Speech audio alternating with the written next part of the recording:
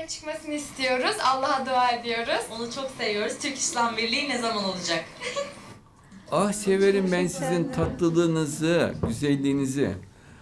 Bak ikiniz de birbirinden güzelsiniz. Yani ikiniz de çok şaşırtıcı güzelsiniz.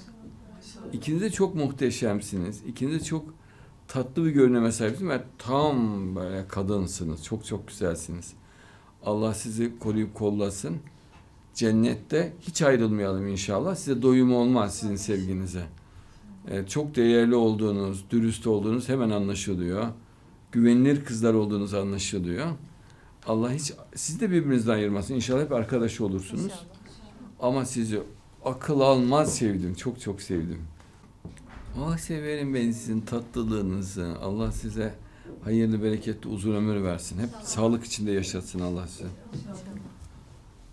Ee, olaylar tırmanacak.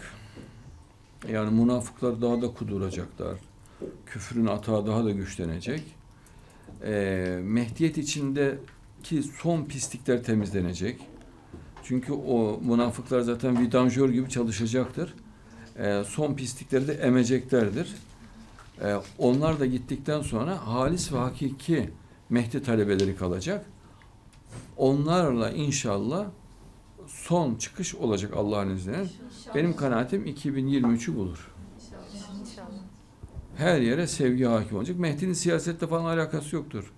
Mehdi'nin tek özelliği sevgi üstadı olmasıdır. Sevgi, sevgi, sevgi başka bir şey yok.